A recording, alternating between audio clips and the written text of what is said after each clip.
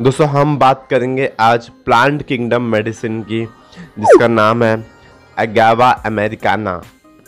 ये ज़्यादातर अमेरिका में फाउंड अमेरिका में मिलती है, इसलिए आप इसके नाम से गैस कर सकते हो agave americana.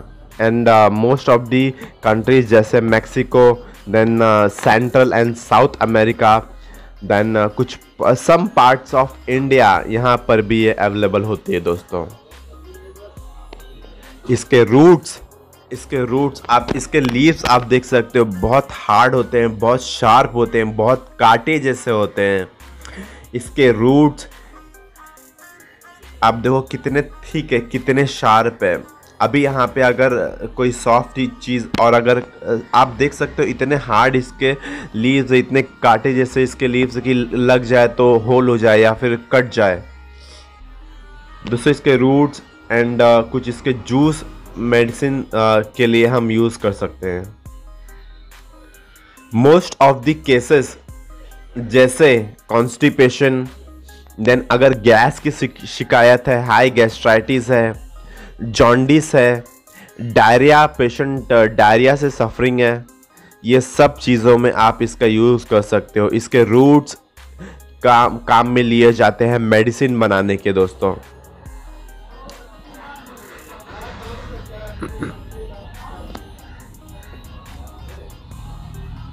यहाँ पे देखो आप सारे जो लगे हुए हैं, सब एक ही प्लांट के हैं। दोस्तों, ये one of the main one of the major इसका जो काम है, वो है मिल्क प्रोडक्शन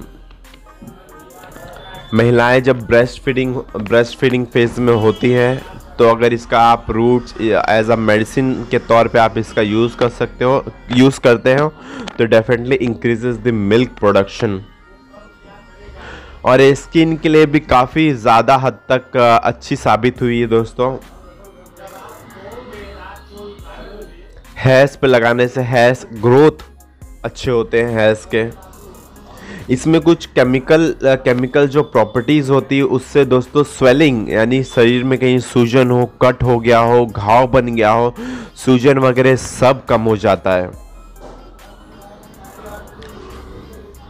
एंड इसका मेजर एंड इफ़ेक्टिव आप काम बोल सकते हो, जैसे इनडाइजेशन खाना नहीं पच रहा है, गैस बन रहा है।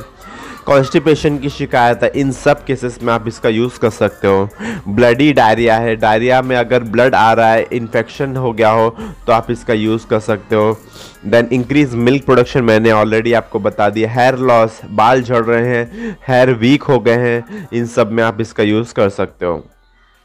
देन दोस्तों, अगर इसका यूज़ होता है तो डेफिनेटली कुछ साइड इफ़ेक्ट्स तो ज़रूर होंगे। पॉसिबली पॉसिबली हम साइड इफ़ेक्ट की बात करें तो प्रेगनेंसी में बिल्कुल इसका यूज़ नहीं करना है, ये बिल्कुल अनसेफ है प्रेगनेंसी में।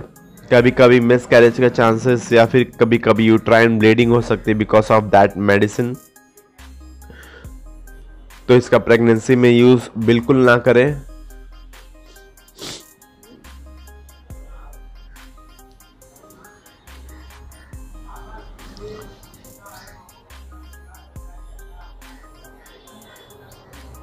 प्रॉपर डोज एंड ड्यूरेशन के हिसाब से दिया जाता है। बच्चे हैं तो उसका अलग डोज होगा, बड़े हैं तो उसका अलग डोज हम एडजस्ट करके देंगे दोस्तों उसमें। आप देख सकते हो यहाँ पे जो प्लांट लगे हुए हैं वो प्रॉपर अगैवा अमेरिकाना के हैं। दो दो या तीन लगे हुए हैं। एंड प्रॉपर इसके लीव्स दोस्तों बहुत शार्प हो होते हैं जैसा मैंने आपको बताया।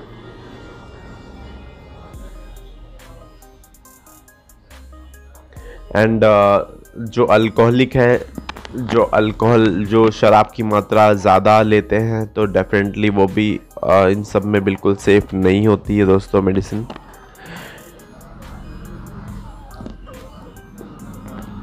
तो दोस्तों सब कुछ हमने बात कर ली यूजेस बात कर ली कहाँ पे ये पाए जाते हैं क्या क्या इसके प्रॉपर साइड इफ़ेक्ट्स हैं.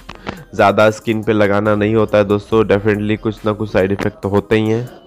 देन uh, हम uh, कहाँ ये सेफ़ है किस चीज़ों में सेफ़ नहीं है वो भी हमने बात कर ली। तो दोस्तों अगर वीडियोस अच्छी लगी हो तो लाइक एंड शेयर ज़रूर करें। मेरे चैनल को सब्सक्राइब कर लें ताकि ऐसे ही मैं हेल्थ रिलेटेड वीडियोस आपके लिए लाता रहूँ। और अगर इस वीडियो से कुछ भी डाउट है तो मुझे डेफिनेटली कमेंट बॉक्स में कमेंट करें बताएँ। क्या दिक्कत है? डेफिनेटली उसका सोल्यूशन मिलेगा। तो दोस्तों मिलते हैं नेक्स्ट वीडियो में। एक और नए टॉपिक के साथ में, तब तक के लिए शुक्रिया, जय हिंद। Thank you